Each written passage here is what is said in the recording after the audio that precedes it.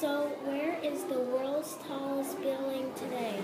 Will buildings continue to get taller and taller into the future?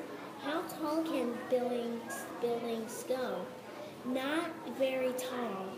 They only go to 40 feet wide and 60 feet long. It can only go that. So the world's tallest buildings is the building that has 37 feet 37 feet wide and 60 feet long.